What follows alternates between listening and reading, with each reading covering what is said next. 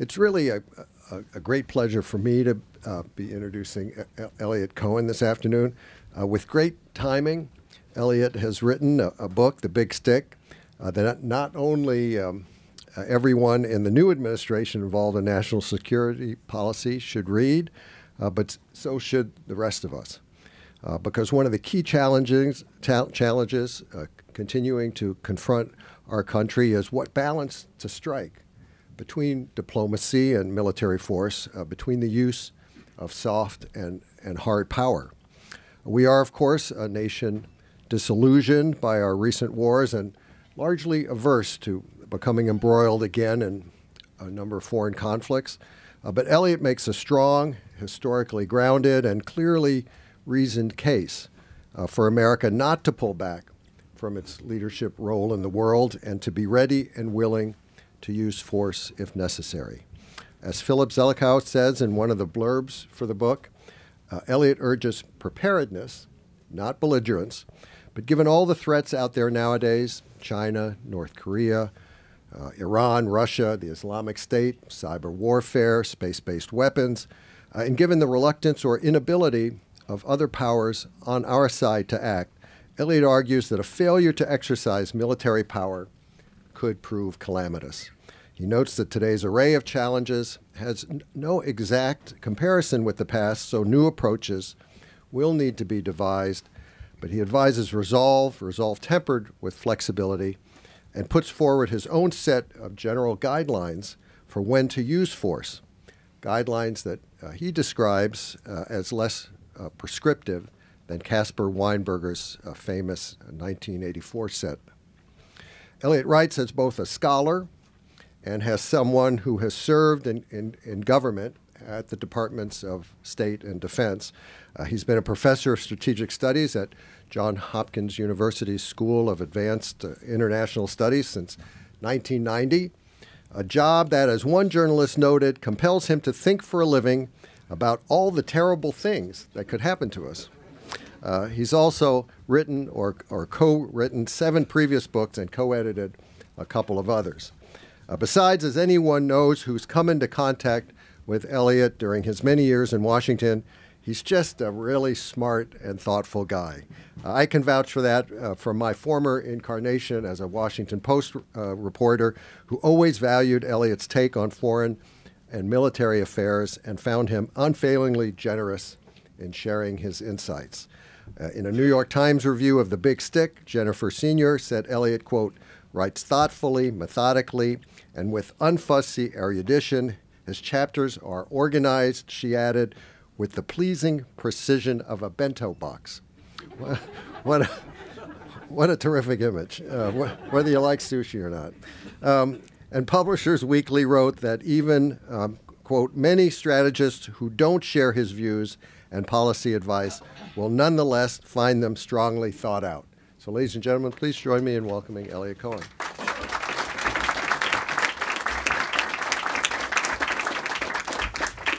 I guess that makes me the big sashimi. Um, it's great to be here. It's uh, uh, wonderful to have such a nice crowd. I see a lot of old friends and uh, and colleagues uh, sitting in the uh, audience, and that's really that really is wonderful. Um, it's uh, particularly great to be back at Politics and Prose. This is, I think, the second event of this kind we've we've had here, but above all, because Brad is such an old friend, and because I think one of the definitions of civilization is a bookstore. And uh, I don't know about the rest of you, but I'm planning on walking out with that stack of books after I pay for it. okay, so the book is called uh, "The Big Stick." The limits of soft power and the necessity of military force. Uh, Wh- whatever else you may say about me or about the book, at least it's an unambiguous title. Of course, the, uh, the phrase the big stick uh, most famously comes from a speech given by Theodore Roosevelt, uh, which he, he actually is quoting the proverb speak softly and carry big stick. The, the speech is an interesting speech. It was given uh, September 3rd, 1901, at the Minnesota State Fair, and the title of the speech was National Duties. And in it, among other things, Roosevelt said, We can be certain of one thing. Whether we wish it or not, we cannot avoid hereafter having duties to do in the face of other nations. All that we can do is to settle whether we shall perform these duties well or ill. Uh, Roosevelt, I think, I, one can fairly say, is the first president who had a global conception of the American role. And that's one of the reasons why, at the end of his tenure in office, uh, he paints the American battle fleet white, not personally, uh, and he sends it around the world kind of let people know the United States has, has arrived. Um, of course, his record as president, for, for a man well known for being quite bellicose, was actually quite pacific. I mean, he, he after all, uh, wins the, uh, the Nobel Prize for uh, bringing the Russians and the Japanese together at the end of the Russo Japanese War. Um, four days after he gave that speech, Pres then President McKinley was shot. Two weeks later, of course, Roosevelt was president. Since that time, over a century of the United States understanding that it had some global role, the United States has paid a very heavy price for that role. Trillions of dollars, of course, but all told, 626,000 dead, more than twice as many wounded, uh, a permanent peacetime military of a scale that I think even Theodore Roosevelt would have been stunned by, more than 10 times as many men and now women in service as during his time. Why? Was it worth it then? And much more importantly, this is really the topic of the book, is it worth it now? And will it be worth it in the years to come? Why did I write the book? Well, I wanted to address three things. The first is the belated debate which is going on now, which in part has been triggered, I think, by the election of Donald Trump, but the the underlying uh, forces that have brought it about are much deeper than that. And that is what I think of as the missing great debate about America's role in the world. The great debate that probably should have occurred after the Cold War. After all, during the Cold War, there's a basic consensus on the American global role, on a military spread around the world, on containment. Uh, this was, broadly speaking, a consensus across Democrats and Republicans, um, left and right. We didn't have that debate in the 1990s, and we didn't have it uh, in part because it was what my late colleague Fouad Ajami described as the Great Picnic. Uh, the 1990s were an easy time. The big war that we fought, the first Iraq War, was we didn't pay for it. Other countries paid for it. Casualties, not you know, for the individuals concerned, but uh, by any kind of historical scale, exceptionally low. And that was true of our succeeding engagements in Yugoslavia. And then, of course, in the 2000s, we're all preoccupied by 9 11 and everything that followed from 9 11. Uh, and so, in some ways, it is only now, almost a quarter of a century later, that that great debate is beginning. And I wanted the book to be a contribution to that debate. The second reason to uh, write this book was because I wanted to address, uh, and if I could, uh, undermine uh, one of the great false dichotomies of the public debate, which is diplomatic solutions versus military solutions. As someone who has served in government, but essentially as an historian and somebody who's uh, spent a life studying these matters, it's quite clear to me that that is a false dichotomy. You can have diplomacy which is supported by military power, uh, and you can have diplomacy which is not supported by military power, in which quite often is a lot less effective as a result. And so I wanted to write a book that deals with the nexus between our foreign policy, how we conduct it, what its objectives are, and America's military power. And the third thing that I wanted to confront was something that we don't like to confront, and that's the actual use of force. One of the things I try to do in the book is show some of the, the continuities between the presidencies of George Bush and Barack Obama, which neither man would like to acknowledge, I, eh, or their supporters, but they're there. One of the continuities between the two of them is neither ever intended to be a wartime commander in chief. Neither thought of themselves as a wartime commander in chief until the moment came. And I would say right now, Donald Trump does not think of himself, to the extent one can judge what goes on inside that head, um, does not think of himself as a wartime commander in chief. I think to the extent that he's got a vision or a program, it is something that is much more, as is quite typical for presidents, inward looking. But he too is a wartime commander in chief. Friday afternoon, he's going to be in charge of a war in Iraq. He's going to be in charge of a war in Afghanistan. He's going to be in charge of a global war against terrorists that goes on every day. And that's on top of whatever wars he may then start. so that those are the three reasons, and I, I, wanted to talk about that, to talk about how should we think about the actual use of force. The core issue, as I said, is the use of, Amer of military power to maintain global order. That's, I think, at the heart of the book. Uh, one of the, again, one of the false dichotomies I reject in the book is the idea that, well, there are American interests and American values. And I think the part of the, one of the phony distinctions of the uh, past campaign was and to some extent, this is embodied in the idea of America first, that we can just pursue American interests and disregard American values. Actually, American interests and American values, again, are interwoven. And there will be times when they are in tension with one another. That's undoubtedly the case. But more often, they interrelate with one another in complicated and difficult ways. So let me summarize, uh, summarize the book. Uh, I mean, I did like that bento box uh, line. That's partly because I have a great editor, uh, Laura Heimert at uh, Basic Books, who just kind of bludgeoned me black and blue until I got a, an outline that she approved of. So I, I see there are a number of former students out there. So, okay, now I feel your pain finally. the, the book begins after a sort of a short in, uh, introduction where I talk about the, the Teddy Roosevelt speech with a chapter called Why the United States? Why should the United States think today that our job is the maintenance of global order? And in fact, what I do is I try to give five different arguments against it. And I try to do as honest and fair a job as I can in making those arguments. So there are things like the argument made by Steven Pinker, Harvard psychologist in uh, Better Angels, and I think you, you had a uh, uh, very interesting program with him. This is basically violence on the wor- in the world is on the decline, despite what you read in uh, the papers. Um, I deal with the argument of what I call Pacific realism, where people say, look, you know, the balance of power will operate all around the world. Re- the United States can be can pull back. We don't have to be in the lead. Uh, a third argument, which is the argument for soft power, and I'd like to point out the book. The subtitle is "The Limits of Soft Power." It's not an argument against soft power, just that it's limited, but there are those who say, no, you really you, you can substitute soft power for military force. Um, a fourth argument advanced by people like my friend uh, Andy Bacevich, which is that the United States is simply incompetent to use military power. Uh, that is a serious argument, uh, which I address. And then finally, the argument for what President Obama has called nation building at home.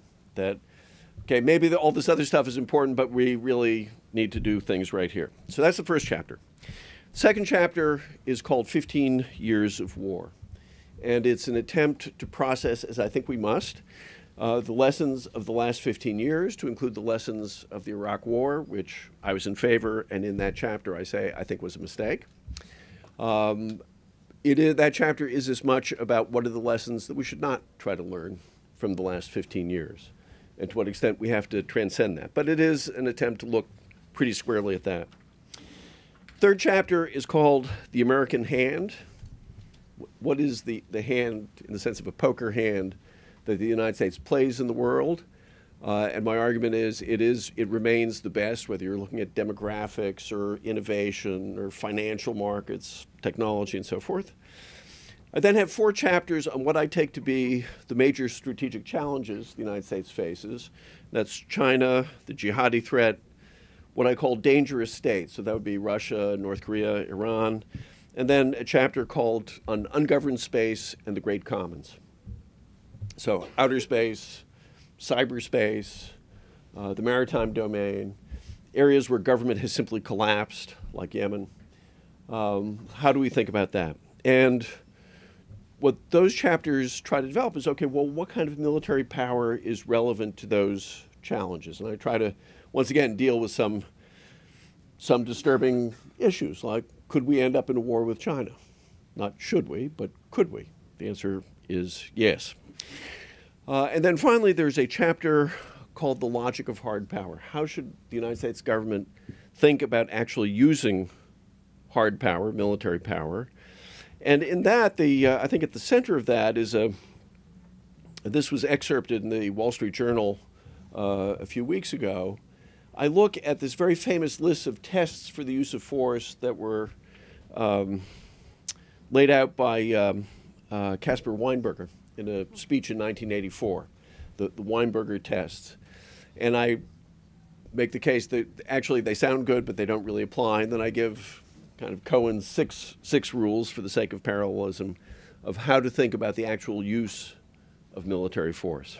So that's the book. And then there's a, uh, a uh, little bit of an epilogue, which is uh, the story of a train ride out west, uh, which uh, Winston Churchill and Harry Truman are kind of giving each other dark looks uh, just before Churchill gives his famous Fulton, Missouri speech about the Iron Curtain. Let me say just a little bit about soft power, a little bit about uh, uh, armed force, and then conclude.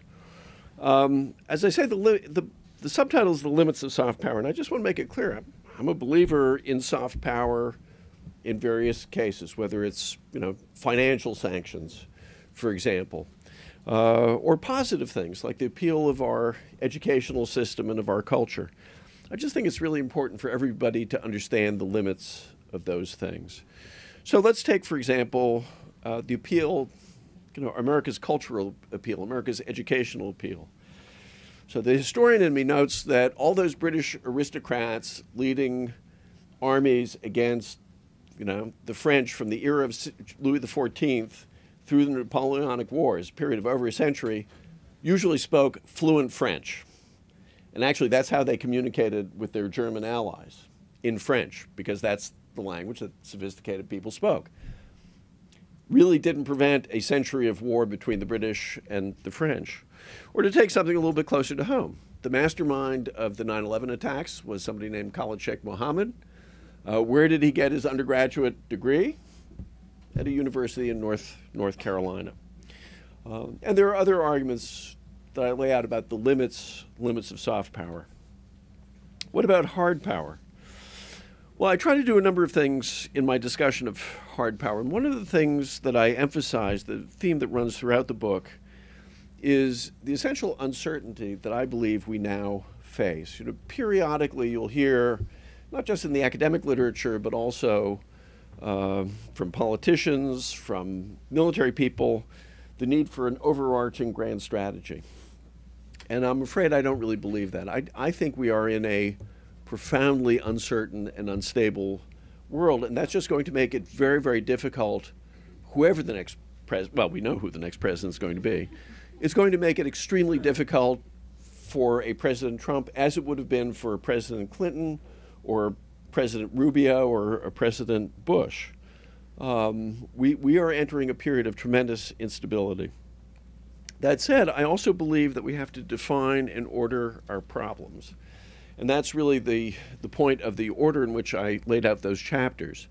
I started with China. I did not start with the jihadi threat, which is a serious one. But I think that's quite important because there's a serious danger that we get so distracted by obsessing about, say, the Islamic State that we lose all sense of strategic proportionality. Uh, and of course, there's a big problem in all that, and it's a problem that I try to address and that is, you know, there's no way you can have enough military power to deal with each of these challenges, which actually require very, very different, not only different kinds of forces, they require different kinds of military leaders, um, different time scales, um, and, and so on. I try to talk a little bit about that. I talk as well about the need to almost to find ourselves a new strategic vocabulary.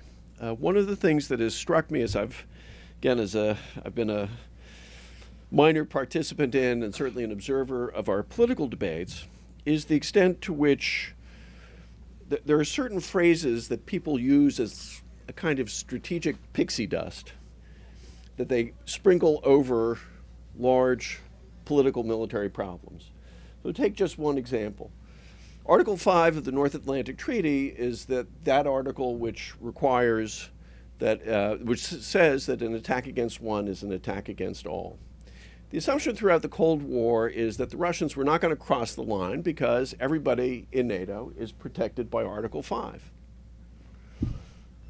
I don't think, and, and if to the extent they're protected by Article 5, you don't really have to think about it a whole lot beyond that. I don't think that applies any longer, say, to the Baltic states. I mean, they are covered by Article 5. But to think that that deals with the problem is reverting to strategic pixie dust. And there are other examples. I've mentioned the importance that I ascribe to processing the last 15 years without obsessing over it. Um, and I have some thoughts about how the United States is going to have to develop military power in the future to include by, um, by reverting to a, a kind of strategic thinking which was actually the dominant mode of thinking in the United States throughout most of our history, and that was mobilizational thinking. The assumption that whatever trouble you're in, your, your current active duty forces will never be enough to deal with it. That what you're going to need to do is, depending on what the challenge is, generate a lot more military power very quickly. By that, I don't mean a draft. We're not going to go back in the business of drafting multi million man or now multi million man and woman uh, armies. Uh, but we are going to need the ability to be a lot more agile than we, we now are. Um, I've I actually participated in the uh, uh, the Senate hearings about the confirmation of uh, uh, General Jim Mattis to be Secretary of Defense, but I, I was also following the, the, the, ones in the House. And I, there was one quite remarkable episode where one of the uh, congressmen was talking about the fact that it is taking the United States Army over 10 years, over 10 years, to let the contract to buy a new 9 millimeter pistol, which is a really simple piece of machinery. And I think quite justifiably was saying there's something crazy here. And I think that's right. Um, how you change that, that's, that's a very big proposition. Let me just uh, conclude. Um, as I said, I've, i do talk a lot about the use of force after both the Bush and the Obama experiences. But I, I just want to conclude with a, uh, an admittedly somewhat dark thought. But again, as my students can tell you, I'm a, uh, personally, I'm a cheerful person, but professionally, the glass is always half empty. I was not the greatest admirer of the Obama presidency, but there's no question in my mind about the sincerity of, of um, President Obama's desire to end the wars that he found when he came into that office. He completely sincere, and he tried really hard. Uh, and I give him full credit for that. And yet, what is the record? He's launched the third Iraq war in a generation. He doubled down in Afghanistan. He increased by an order of magnitude the greatest campaign of government directed assassination in human history. He participated in the overthrow of a North African government in support of our um, European allies. Uh, he has ordered American forces back to Eastern Europe, actually to Eastern Europe, where they never really were before. There was actually just a big deployment to Poland. And he's ordered the ships of the United States Navy to begin sailing uncomfortably close to man made Chinese islands in the South China Sea. Now, I don't think he did this because uh, he's a weak leader or because he, uh, you know, the, his principles and his objectives were all a sham. They were not. I think it was external realities. And I think Donald Trump will discover those as well, no matter what he says. And so, in that sense, it seems to me that Teddy Roosevelt was right when he ended that speech, with which I began these, began these remarks, by saying, All that we can settle, all that we can do is to settle whether we shall perform these duties well or ill. So, thank you very much, and I'd be happy to take any questions or comments you might have. And, and just uh, following uh, my boss's orders, if you would use the, uh, the microphone when you, uh, if you have a question. So, sir, it looks like you're first. and probably, I guess, if people want to, you should line up behind the, the uh, microphone. Thank you. I enjoyed it very much. Thank you. Um, you really posed the question, though, it seemed to me, mostly in most of your comments, uh, as to what extent the U.S. should, uh, or, or making the, the case that the U.S. should use um, the hard, hard power, the stick, um, as opposed to as opposed to soft power. Um, but implicitly, you were the the idea seemed to be that we should do that alone, no matter what, um, how much help we get from uh, from like-minded other like-minded nations. And you had some comments on NATO and the Baltics. Um, but it seems to me that some of the question is how far do you go in demanding?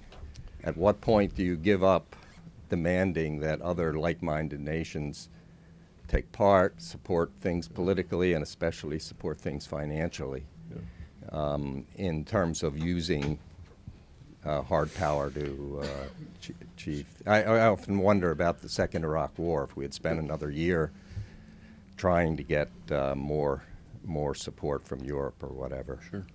so, so things wouldn't have turned out po possibly very very differently. Um, Okay, actually, let me deal with both parts of that. First, just to be very clear, uh, I'm actually a very big proponent of the American alliance system. And in that chapter that I mentioned, the American hand, one of the reasons why the American hand is so strong is because of the network of our alliances. The North Atlantic Treaty at the center, but also a tremendous web of alliance relationships in Asia with Japan, Australia, um, Singapore, emerging relationships which are not quite alliances but are very close to it, say with, with India. So I'm absolutely a, uh, an alliance uh, kind of guy. One of the things, I mean, there have been many things that have, for those of you who follow anything I write, probably know that I'm not the greatest admirer of Donald Trump either. And one of the things that troubles me most about him is a completely transactional view of our alliance relationships, which is utterly misplaced. Now, the fact is, you know, the United States is always complaining about our allies. That's part of the price of leadership. Uh, you know, Secretary Gates was kind of giving the Europeans a tongue lashing over uh, their defense spending, and we, and we should. But I think what's important to remember is it is an infinitely better bargain than doing it on your own, or as um, a British general once remarked that the only thing that's worse than there's only one thing that's worse than fighting a war together with allies, and that's fighting a war without allies. Uh, so, no, absolutely, this is this is essential. The, there will always be a free riding kind of problem, and I think we just have to, to some extent, we have to accept that. You never give up on on nagging people, but uh, no question in my mind that, and, and in fact, I think if you don't accept the idea of uh, the American maintenance of, of, the United States having as one of its core foreign policy objectives the maintenance of a certain kind of world order, our alliance systems will disintegrate.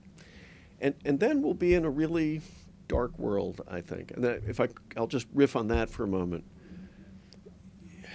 And I'm basically an historian. And what it seems to me that we've lost is the ability to imagine real catastrophe. 9 11 was very bad. It wasn't catastrophe on the scale of other right. things, even in our own history. Um, you know, as a kid, I remember, you know, the duck under the uh, your desk nuclear drills, and so people had some sort of sense of what that was like. But now, for quite a long time, we we've been living in an extremely benign world, and I think we find it very hard to imagine what a world kind of like the world of the early 30s might look like, except with a lot of people with nuclear weapons. And I believe if we're not careful, that's where we could end up. Great, thank you. Sure.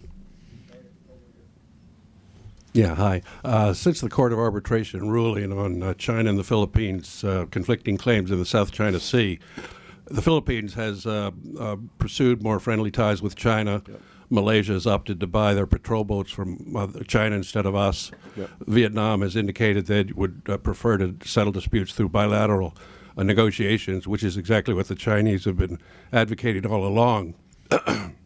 In light of the lack of concern shown by the countries most directly involved, Do you think our constant harping on Chinese aggression in the South China Sea and threatening military action is counterproductive, if not downright embarrassing? I, I don't think it's, uh, I, I read their behavior differently. Um, you know, those are little countries next to a really big country which has, in fact, periodically used force against them, uh, particularly the Vietnamese.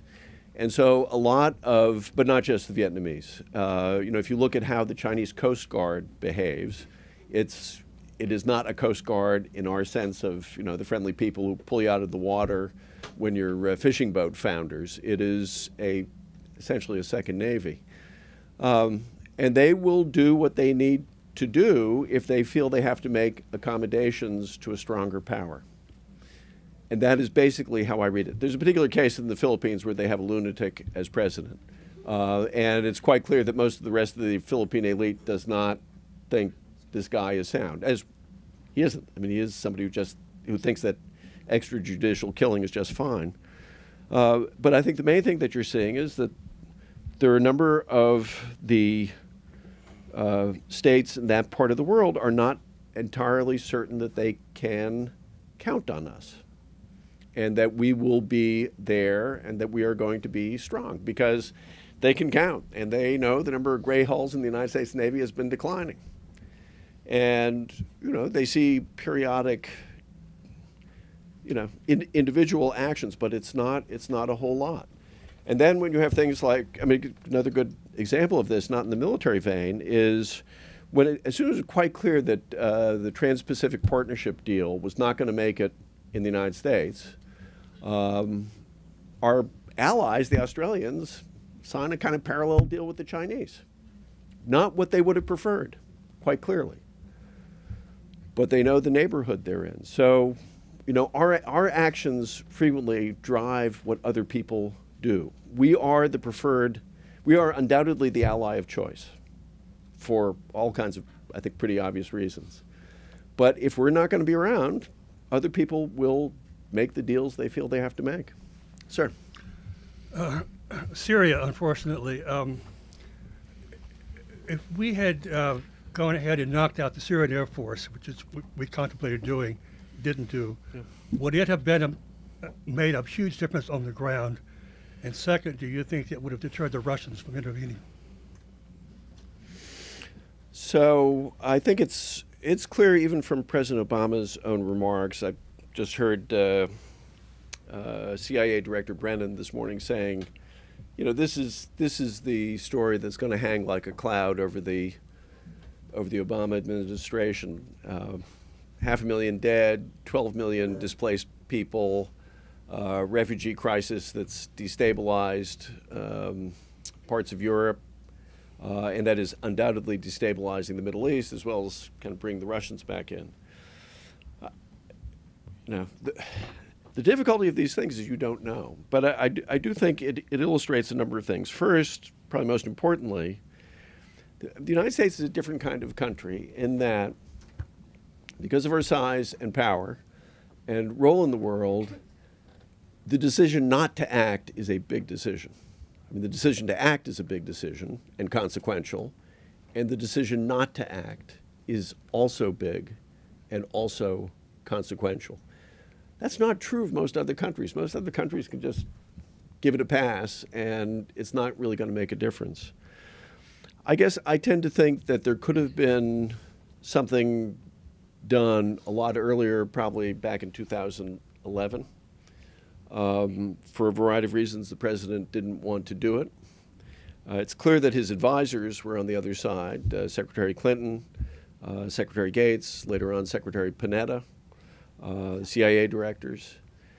And, you know, exactly how it would have played out, I don't know. But I think if I had been there, I would have preferred to see us at least try.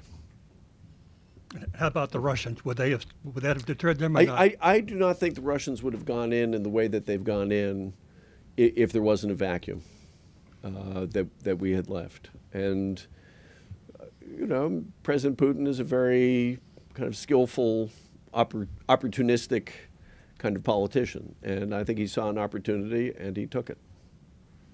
Sir. Could you use your analysis of so- the limits of soft power and hard power with North Korea? I think Donald Trump said that it's not going to happen that they would develop right. missiles that could. So, what are the limits of? Sure. Um, again, North Korea, a country I, I worked on in, in government, uh, and a really hard case. So the first thing, since you mentioned uh, President-elect uh, Trump's statement that th- they're not going to develop an ICBM that can hit the United States, you know, he may have just tweeted his way into his own version of President Obama's red line in Syria that wasn't a red line. And this is one of the reasons why it's a very bad idea to conduct foreign policy by tweet.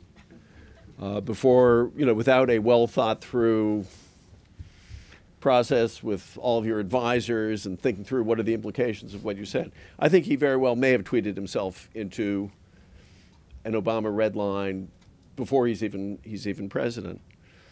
Second point I'd make is no country has ever been sanctioned as heavily as North Korea. And they still have nuclear weapons. Those, they've been subject to all kinds of pressures, some of which we can't go into. Um, they still have nuclear weapons. The nuclear weapons have gotten better, and they have, they will have within a year, by, by all accounts, certainly that I've read, um, intercontinental ballistic missiles that can hit the United States.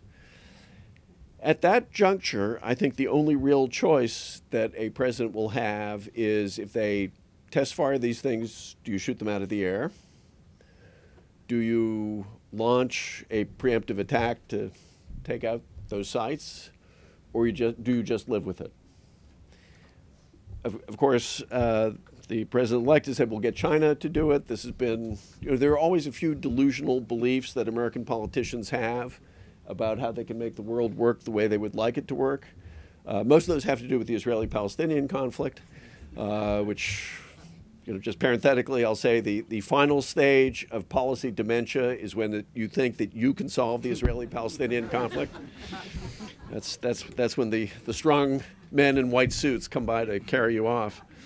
Uh, but, but another is that you can get the Chinese to bring the North Koreans to heel and to end their, their nuclear program. That will not happen. It will not happen because the North Koreans know that whatever it is, the Chinese will do not want a unified Korea, particularly a unified Korea aligned with the United States. Um, and the North Koreans have every reason in the world to want to have nuclear weapons because without nuclear weapons, they're just a rotten little impoverished dictatorship, you know, in the corner of Northwest Asia. And who cares about that? So I think those those unpalatable options are the options that a, a President Trump is going to be looking at. Tom. Wanted to ask a question about the future of American power and its implications for uh, the level of U.S. commitments in the future. Do you think there are certain trends going on uh, that may lead to uh, not a dramatic decline of American power, but some some measurable decline? Uh, the aging of our society, the rise of China, and some real uncertainties in our political system that usually result in presidents who are elected who are complete amateurs and sometimes not very accomplished amateurs at that. Um, if you put all these together, do you think that there may be some measurable decline going on that goes, you know, way beyond Trump himself? And if so, uh, do you think that we should consider some kind of modest modifications in our level of commitments abroad? So, so this is uh, the issue I, I talk about in the chapter called "The American Hand," and my my feeling about it is this: obviously, there's a relative decline in American power, largely because of the rise of China, which is not going to go away, and in a lesser extent, the recovery of Russia, the assertion of Iran, and a few other states. But once you get to the end of that, um, the American hand looks good. Our population aging a little bit, nothing compared to how the Chinese population is aging. Nothing compared to it. Uh, you look at the basic sort of technological base of this society. I mean, you know, right now there's a lot of focus on manufacturing. Actually, American manufacturing is doing just fine. It is not going to generate jobs because it's increasingly like American agriculture, extremely mechanized and automated, but really, really quite interesting. So I think, you know, just about by every criteria that you look at, um, you know, the American hand is going to it's going to remain a little bit more precarious, but it's still going to remain very good. What what that implies, I think, is need for more kind of depth, deftness in how we play our hand. You know, it used to be that effectively the United States had so much power that it just didn't matter. But, but fundamentally, I think that hand remains strong. You know, the question you raised was about American political culture. I think it's going it's being tested, and I think it's going to be tested. Uh, Brad and I were talking before uh, we came out here, and I, I, quoted a friend of mine who said, "Well, we're going to find out just how good a political architect Jimmy Madison was." Uh, I, and I think that's so. I am a uh, I am a I am a short-term pessimist about most things. I am a long-term optimist about the United States of America. So that's you know maybe that's just being the grandson of immigrants and you know, who had nothing when they arrived and ended up doing very well. Um, but I do, I am, I do have long-term faith in the United States. What I fear is that we're going to go through a pretty chaotic period of time, not, and not even just necessarily the tenure of uh, President Trump, uh, in which there'll be a lot of upheaval. Uh, you know, and I remember that from my youth. You know, I lived through the 60s. Uh, could even get like that. You know, there, there, I can imagine riots uh, next Friday or Saturday, um, and and beyond that. But I think at the end of it, we will come out and we'll be, we'll be okay. Part of what I worry about is well, what will have happened in the rest of the world while we were going through that, and that that I find a disturbing thought. Sir. Uh, do you think that the expansion of NATO uh, to include uh, Poland and I think the Baltic republics was a mistake? No, uh, I do not. Um, and there, has been a lot of nonsense that's written about whether promises were made to the Russians. Absolutely not. They were not made to the Russians. Certainly not about those states. And you know, Poland and the Czech Republic, um, Hungary to a somewhat lesser extent. Um, and the Baltic states, you know, basically had the culture in place and the traditions in place to become liberal democracies and to become, as they pretty much are, uh, although that's under pressure too. Um, and there was no reason not to take them into NATO. The question, I think, is much more to what extent um, the Europeans, actually in the lead, but with some support from us, made a mistake by being supportive of um, what are essentially protest movements and liberal democratic movements in Ukraine. That said, I think we need to be very clear with ourselves. Um, you know, Vladimir Putin, and, and, this is, I believe, pretty well documented. Putin and the likes of Putin, uh, because he's more, it's more than just one man that we're dealing with. Uh, they could sort of accept the end of the, they could accept the end of the Cold War. They could accept the end of the Warsaw Pact they could sort of accept up to a point the end of the Soviet Union, although I don't think any of them think of the Ukraine as a truly independent and distinct country. That's a really important point. They really don't. They think it's, this is part of Russia. Um, but what was unacceptable to them, and again, they've said things to this effect, that NATO continues to exist because they understandably view the North Atlantic Treaty as being directed against them which it is. As it turns out, appropriately so. Um, and so, therefore, I think you know their hostility to the West and to NATO is it's going to persist. And the kinds the you know the kinds of movements that you saw in the Ukraine and before that in general, the sort of all these colored revolutions are seriously threatening to people who rule by violence and intimidation, and in some cases assassination. Uh, and you know they're they are going to push back, and they are pushing back, and I think we just have to accept that. Sir. Yeah, thank you. Um, a few questions. Um, the first one that troubled me is you said uh, it's not that I'm necessarily in disagreement with it, but I think it could be catastrophic. Namely, um, that conflict between the United States and China could be possible. Yep. And I agree with you because I don't believe China is going to behave itself as the Soviet Union did. Mm-hmm. Every time the Soviet Union was faced with power, it backed down. Yep. I think China thinks basically, I'm from the Caribbean, let me say that first, okay? Mm-hmm. Because I'm going to say we have some differences. Basically, the Chinese think of us as kind of newcomers on the scene, right? They are, they are 6,000 or 5,000 year culture. And they are not necessarily going to back. If they feel something strong and the United States confront them, they are going to stand up to the United States. This, therefore, means, to a certain extent, fundamentally a either a rethinking of U.S. strategic interests in that region or problems. So um, I was wondering what you think about that. That's the first question. The second question is more to the center of your book, right? The notion of the limits of soft power, right? Joseph Nye notion, right? Um, um, obviously, where I come from, I come from a very small island, St. Martin, right? 37 square miles, totally overrun by tourists. the same thing in Aruba, where I was born, Puerto Rico. I mean, let's not go over the whole thing, but because it irritates me. But that's okay. That's my personal irritation. Um, and my people would disagree with me. Okay, they would say, "What? I mean, this guy went crazy. He went to the north. He went crazy." But, um, but the issue of soft power, right? Soft power in our parts of the world, in the Pacific, in Central America, is not soft power at all, right? It's tremendously hard. It's basically as, as violent as as hard power, right? You, you go there, the media is dominated, the film is dominated, the culture is, everything is dominated by the United States. And what you see is a totally confused population, total paralyzed population, right? So the notions, I think, of soft power, and in this soft power, Central American ideas being projected, pharmacultural imperialism, right, being projected onto people.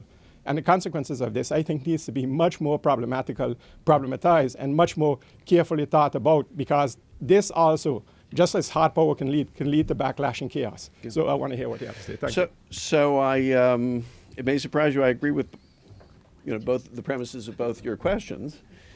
Uh, I think it's very important, you know, to draw a distinction between saying something could happen and saying I'd like it to happen.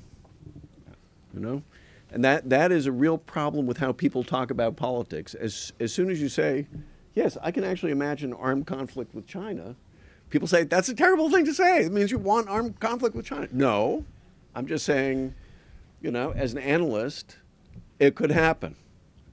In the same way that, you know, if I think it's conceivable that nuclear weapons could be used in anger, that's not because I want nuclear weapons to be used in anger. And I, what again, going back to a conversation Brad and I had, I think we've, in, in the period that we're now in and that we're going into, it's really going to be extremely important to be just intellectually honest and to adhere to that and not to soften things because they're troubling or inconvenient, but to say, no, I'm not just going to call it as it is. To your second point, actually, I talk about that. Um, the fact that soft power is not always gentle. I mean, sanctions are not always gentle you know, the sanctions on a country like North Korea, or for that matter, on Russia, are not going to fall on really wealthy people. They're not going to fall on the leaders. They're going to fall on other people. We need, and you're quite right. We need to remember that. It is also the case. I agree with you. The United States and to some extent the West are disruptive forces all over the world. Um, part of the problem with actually the term soft power, power is usually something you can control. You know, you can order the ship to sail somewhere or tell it not to sail somewhere. You can send the troops to a country or not send the troops to a country. A lot of what we call soft power is not really it's not really controllable. And I'll give you just one last example. I mentioned Khalid Sheikh Mohammed. The, kind of the godfather of the modern jihadi movement is a man named, was a man named Sayyid Qutb, who was an Egyptian, uh, and who's really in many ways kind of the godfather of, of Al Qaeda. Where does he become radicalized? Somewhere out in Colorado in 1947. I forget. It was some small town. Which he Really, what? really Colorado. Right. So, which he, which he somehow conceived of as a den of iniquity. I find it very hard to imagine Colorado in 1947 as a den of, you know, the most appalling, uh, uh, you know, laxness and sexual immorality and all that. But I wasn't there, so maybe maybe he saw something I didn't. But but the point is, it had a huge impact on him, completely undesired by anybody in the United States, but it had an effect. So I, I actually agree with you. Sure. Yeah, thank you. I actually went to college for Greeley for a year. Okay. okay. It's So, sort of- how bad a place is it? It, other than the feedlots, which stink like cow shit, it's not that bad. so that could have been the problem. So my question is, and you probably don't have an answer to it. It's a little outside the scope of your book of, of Trump's picks for uh, you know the foreign policy um, view. Um, do you see Mattis as the most reasonable compared to um, obviously Flynn and Tillerson? And really, the question is, uh, hopefully, he will have the most influence, and hopefully, won't be the last person that talks to him when he makes you know major decisions later. So I, I testified. Um, the Senate Armed Services Committee had a hearing on civilian control of the armed forces. It was uh, myself and, uh, and I, I'd served in the Bush administration. Obviously, my colleague was uh, Dr. Kathleen Hicks of the Center for Strategic and International Studies, who served in the Obama administration.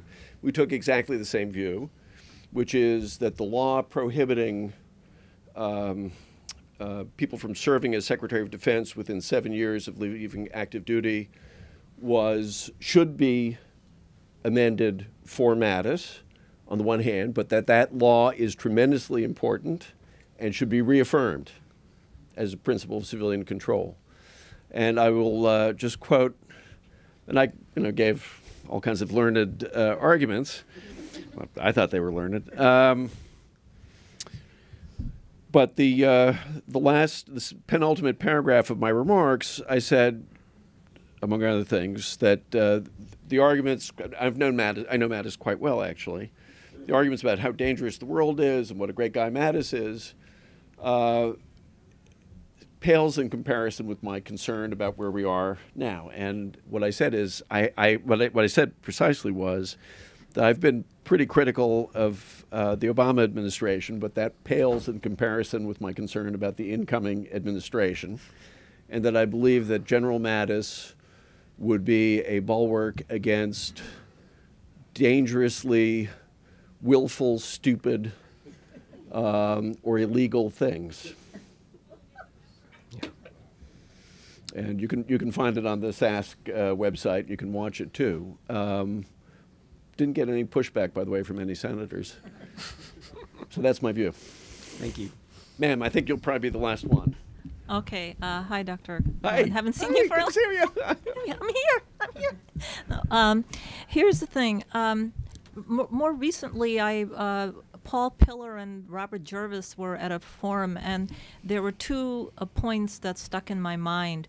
One is Robert Jervis said that you know sometimes we don't recognize the heterogeneity of uh, you know viewpoints in other countries, which then uh, leads to our characterization in more simplistic kind of ideological terms, which I thought was a very good point.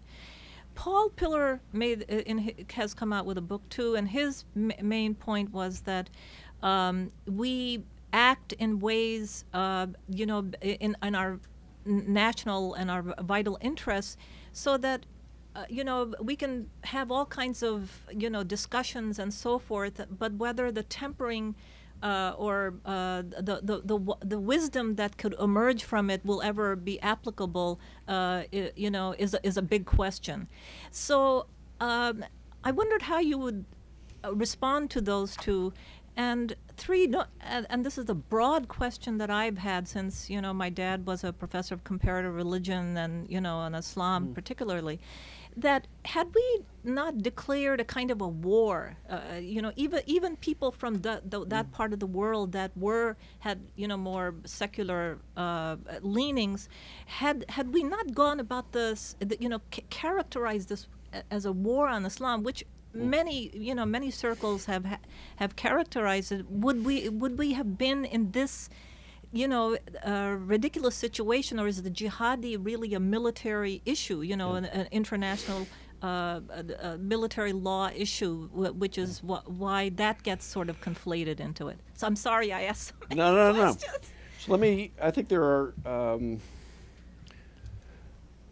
there are really two separate parts to your question. Let me deal with the second one first, which has to do with uh, how we've characterized this war, whatever we want to call it. And I guess I have a different take on what we did, um, and I think we're actually uh, well, I'll just lay it out for you. I, I think both President Bush and President Obama resorted to what I call the, um, the Lord Voldemort theory of the enemy. Uh, for those of an older generation, would be the Sauron, or those who just saw the movies, uh, the Sauron view of the enemy. That is to say, that organizations like Al Qaeda and Islamic State and so forth, uh, they're just evildoers because they're just evil because they're evil because they're evil. Full stop. This has nothing to do with religion. And you know, and we've repeatedly now had the spectacle of Christians, Jews, agnostics, atheists, Hindus, all saying this has nothing. We are experts on Islam. This has nothing to do with Islam. I think that was a mistake because uh, you cannot come to grips with what the phenomenon is if you don't take it seriously. Now, my point would be this that what you're dealing with is this is a minority strand within Islam. It goes deep. It has some roots which go back to the early Middle Ages and beyond. And if you read the writings of these people, they're referencing people like Ibn Taymiyyah and mm-hmm. so on and so forth. This is not all of Islam that you're dealing with, but we could never have that honest a conversation about it.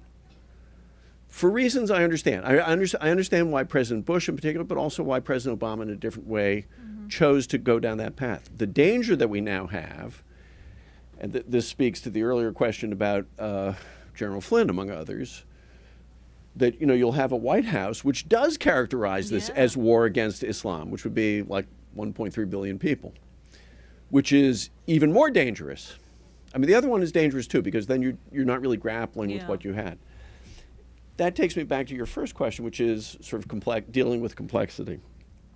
The fact is, the United States, I think, simply because of its size and its position in the world and all the stuff that comes streaming across the desks of American decision makers will always be bound to get it wrong to some extent. I mean, and this is this is a completely nonpartisan uh, point of view.